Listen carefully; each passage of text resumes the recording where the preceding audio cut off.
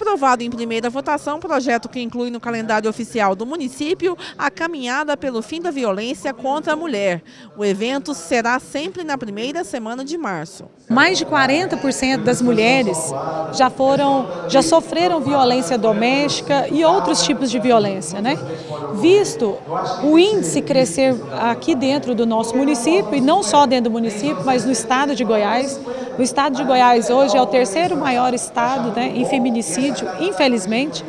Nós é, propomos né, a essa caminhada, que a primeira caminhada foi um sucesso, foi assim realmente maravilhosa, encantadora, onde a gente sai nas ruas para poder conscientizar homens, esses homens sendo adultos, adolescentes e crianças, para trazer o respeito às mulheres e dizer que basta, basta de violência contra a mulher. Nós precisamos né, é, estampar essa, essa caminhada né, para poder conscientizar também as mulheres, no sentido de que, para elas perderem o medo, para que elas possam procurar os seus direitos, procurar proteção. Muitas vezes é ameaçada no sentido de perder os filhos, né?